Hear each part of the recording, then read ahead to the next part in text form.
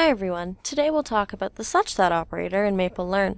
To evaluate math at values of one or more variables, you can use the such that operator. The operator contains two parts, separated by a vertical bar. The left-hand side can be a math input that includes zero or more variables, while the right-hand side contains one or more equations that specifies the values for the variables. If you want to evaluate more than one variable using the such that operator, don't forget to use the word AND to separate the respective equations like in this example. You can also use a list of values on the right side by either using selected values or generated values using our sequence generator. This allows you to restrict the domain for variables in an expression to a finite set of values. You can also apply commands to the result of a such that operation.